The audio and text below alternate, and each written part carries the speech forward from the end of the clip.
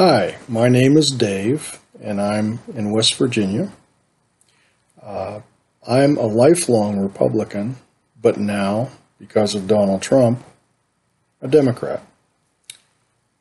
I think that Donald Trump is the worst mistake this country has ever made. I believe that Donald Trump is a liar. I think that he is the type of person if you if you owned a family business and you hired him, you would very quickly come to realize, oops, that was a mistake. I need to fire this guy.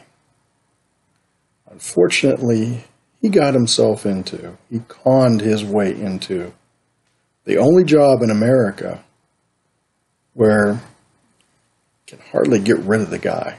We tried, but you can hardly get rid of the guy until the next four years. He wants to keep the job, even though he can't do the job.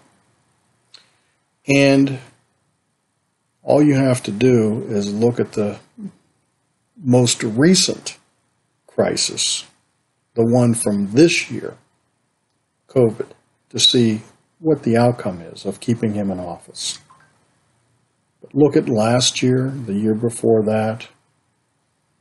He is, I've heard that everything that Donald Trump touches dies. I can see that. I have never given money to any political party. This year, I'm taking all my spare pocket change. I'm giving it to Joe Biden and as many Democrats as I can.